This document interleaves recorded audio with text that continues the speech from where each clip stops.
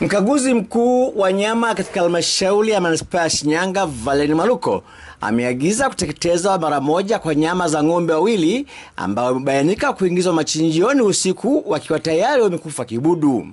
Msikilize hapa Mwaruko akitoa agizo la kuteketezwa kwa nyama hiyo na hatua za kumsimamisha mchinjaji anayedaiwa kuruhusu ng'ombe hao kuingizwa machinjioni.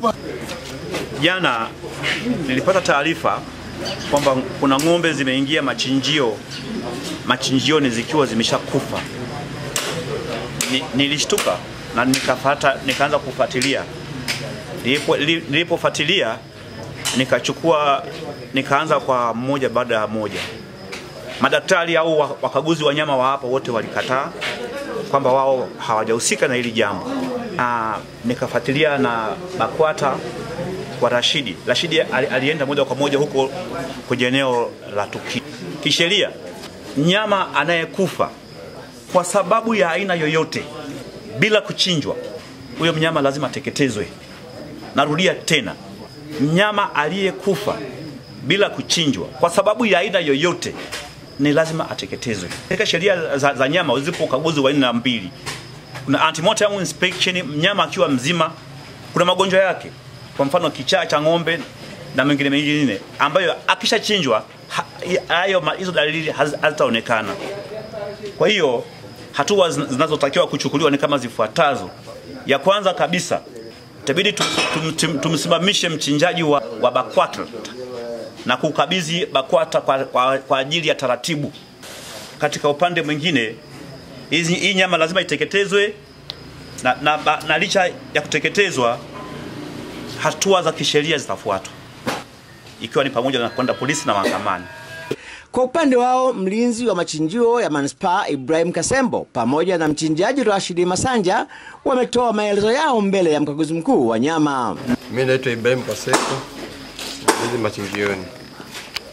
Mimi ng'ombe zilipofika nikawapigia hawa, naona bana, hizi ng'ombe nafikiri zimezuiliwa tangia jioni, isiingie hapa, naona huyu Abdalla kanambia kwamba ameruhusiwa na Nigo, unaona, na mimi ndio maana nikaluka moja kwa moja kumpigia Nigo.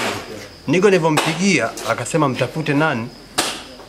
Mwenye majukumu ya sasa hivi, sio ya kwangu, mwenye majukumu ni Mwaluko, unaona. Basi ikabidi zile ng'ombe Jumapili anambia zikae pembeni, unaona maana? Hadi wenyewe atapokuwa amekuja asubuhi. Mimi naitwa Rashidi Masanja, mchinjaji wa BAKWATA mkoa Shinyanga hapo. Mimi wakati napigiwa simu moja kwa moja waga najua kabisa kwamba yote mawasiliano tayari nimeshayafanya na mhusika mwenye ng'ombe. Kuhoji sana kwamba imekuwaje, ume, umewasiliana na wahusika, mimi hilo sikuhoji. Sasa wewe umechinja, ulijuaje kama huyu awa ng'ombe ni, ni wazima ama wagonjwa? Mimi hilo kwa sababu mimi sio mtaalamu wa, wa wanyama, mimi siwezi kujua kwa kweli. Ndio Unaruhusu nyama kule, kule, kuleta machinjoni, nyama imeshakufa, ng'ombe imeshakufa? mheshimiwa, ni kwamba Mimi sio mheshimiwa. sawa dokta, ni kwamba taratibu tu, tulizokuwa nazo huko nyuma, labda niseme tu kwamba ni mazoea toka nyuma tulivyokuwa tunafanya, kwa sababu tulivyokuwa tunafanya nyuma, ng'ombe mfanyabiashara wa wanyama akienda kupata ng'ombe kule wa bei rahisi Eh, na- na- na- anamtaf, anamtafuta anamtafuta daktari anamtafuta na mchinjaji wanawasiliana unaona ndivyo utaratibu ulivyo. Wewe wewe wewe nani nani alikwambia chinja? unaona Nani alikwambia chinja? aliyeniambia kuchinja hey. aliyeniambia kuchinja huyu mwenye ng'ombe Ulikuwa una uhakika gani kama ameshawasiliana na madaktari? ah, hilo swali litakuwa ni gumu kwa kweli ukiniuliza kwamba nilikuwa na uhakika gani Mwenyekiti wa umoja wa wafanyabiashara ya bucha mjini Shinyanga, Abdi Kadodo, pia amepata nafasi ya kutoa maelezo yake kuhusiana na tukio hili. Labda, labda nizungumze kwamba hizi ng'ombe zinanukuliwa vibaya. Hizi ng'ombe zimechinjwa nje ya chinjio na aliyechinja ni mtumishi wa BAKWATA. Sasa hizi ng'ombe zimechinjwa nje ya chinjio zikaletwa hapa, yani, yani hazikufuata utaratibu wa kuchinjiwa ndani ya chinjio. Sio kwamba zimekufa afu ndo zikachinjwa, bali zimechinjwa zikiwa hai Ah, Sheria inasema kwamba madaktari kwanza lazima wakague ng'ombe kabla hajachinjwa, wakijiridhisha ndio ichinjwe.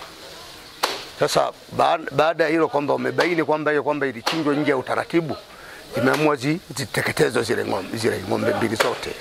Kaimu katibu wa BAKWATA mkoa wa Shinyanga Ali Idrisa amesema ofisi yake hajapata taarifa za kusimamishwa kazi kwa mchinjaji ng'ombe katika machinjio ya manispaa ya Shinyanga, ambapo anafafanua.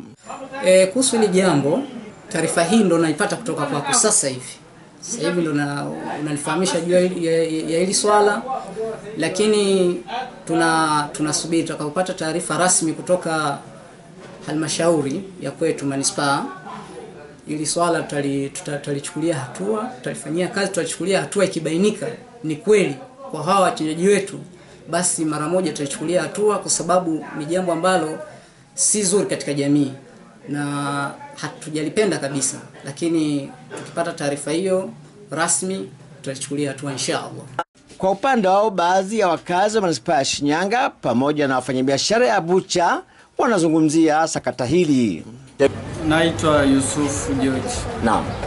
Ah, Kwa kitendo kilichotokea ambacho tumekiona kwa siku ya leo ni kitu cha kustajabisha sana, kwa sababu kitendo cha ku- kuleta ku- ku- ku- kuleta machinjoni ng'ombe ambaye tayari ameshachinjwa inatuondolea imani sisi pamoja na wateja wetu.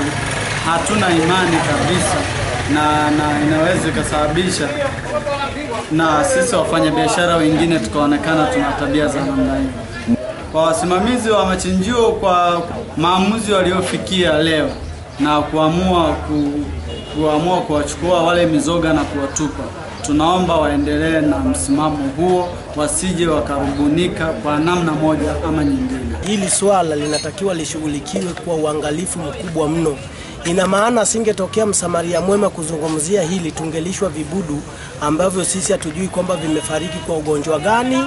Make mnyama anapokufa alafu analetwa machinjioni, hatujui kwamba amefariki kwa ugonjwa gani, alafu analetwa katika machinjio, ni kututafutia matatizo na sisi watu wengine ambao ni wanunuzi na walaji wa hizo nyama. Kwa hiyo tumshukuru sana huyu aliyetoa hizi taarifa na manispaa kwenda kushughulikia hilo swala, lakini wawe macho kwa mambo kama haya, haipendezi. Suleiman Abed, Kama TV Online.